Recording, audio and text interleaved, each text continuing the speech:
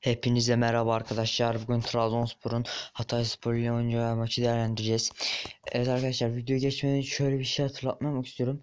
Arkadaşlar videomu yani ilk defa benim videomu izleyen birisi videomu arkadaşlar abone olun. Çünkü arkadaşlar cuma bilemedim perşembe günü büyük bomba haberlerim olacak. Yani kesin bir tane transferleri konuşacağız haberiniz olsun. Arkadaşlar şimdi şu konuyla da başlamak istiyorum.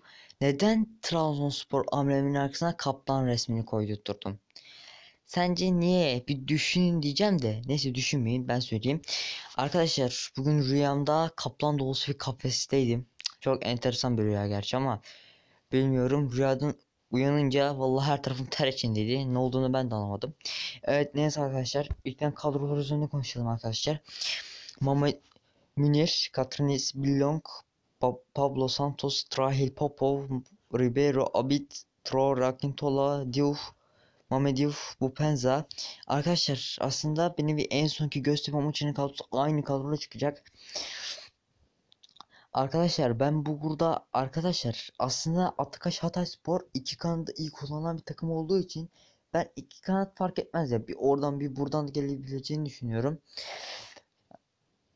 Yani arkadaşlar yani Akintola fazla sıkıntı çıkarmadı mı arkadaşlar?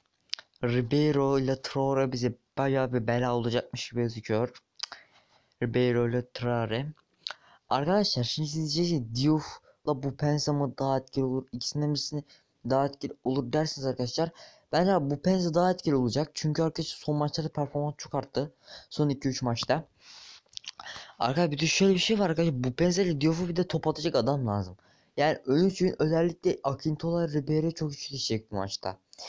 Tabi artık şansı iyi mi değerlendirir ne yaparlar bilemem orasını. Evet arkadaşlar. Atakaş Hatayspor değerlendirdik arkadaşlar. Bu arkadaşlar Trabzonspor nasıl desem biraz atak oynayacağı için baskı uygulayacağı için yani bu maçı ne yapıp ne edip alması lazım arkadaşlar. Evet arkadaşlar Trabzonspor bölümüne geldik. Trabzonspor için beklediğim kadar aslında arkadaşlar bu.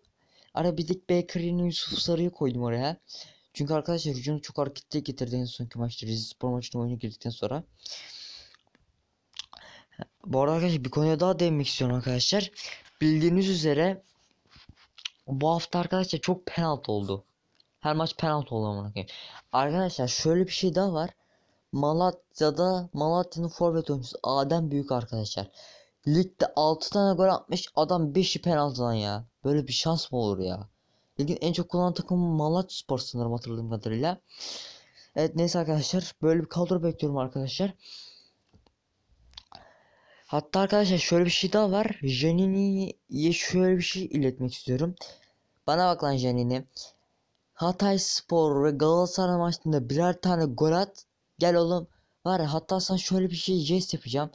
Eğer iki maçtan son iki maçtan da gol at. Böyle bir tane tablo hazırlayacağım. Hatta fotoğrafını koyacağım. Benim tam ortama salonun ortasına asacağım arkadaşlar. Öyle bakıp bakıp onu hatırlayacağım. Hatay ve Galatasaray maçlarında toplam 2 gol istiyorum. İkişer ikişer de atabilirsin ya. Benim için fark etmez. Neyse arkadaşlar. Transfer nasıl oynamalı? Arkadaşlar özellikle iki tane beki sakat arkadaşlar. Yani iki tane bek ileri çıkıyor. Hücum yapmak için ileri çıkıyor. Geri dönmeyi fazla sevmeyen bir bek hattı var. Geri dönmeyi fazla sevmiyor. Çok boşça kakılacakmışız gibi mi geliyor şu anda durum. Yani durum öyle gösteriyor. Yani arkadaşlar defansı çöp gibi bir şey yani Hatayspor'un.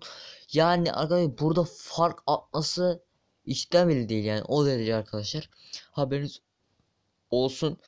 Arkadaşlar eksikleri bakınca zaten Trabzonspor'un fazla eksiği yok zaten. Bir de kadro içi kalan futbolcular var. Onun haricinde arkadaşlar şey var bir de Hatay Spor'da Yusuf Abdioğlu ile Mesut Çaytemel bu iki tane defans oyuncusu da aslında arkadaşlar tam belli değil yani oynayıp oynamayacakları ama yani arkadaşlar maç saatinde belli olacak. Haberiniz olsun arkadaşlar. Videoma abone olup like atmayı unutmayın arkadaşlar. Bu arada videomu like like atın. İleride yani başka bir videoya çıkacağım. İstediğiniz oyun videosu varken çekmek isterim arkadaşlar. Haberiniz olsun. Evet arkadaşlar bugünlük bu kadar olsun. Kendinize iyi bakın. Görüşmek üzere. Görüşürüz.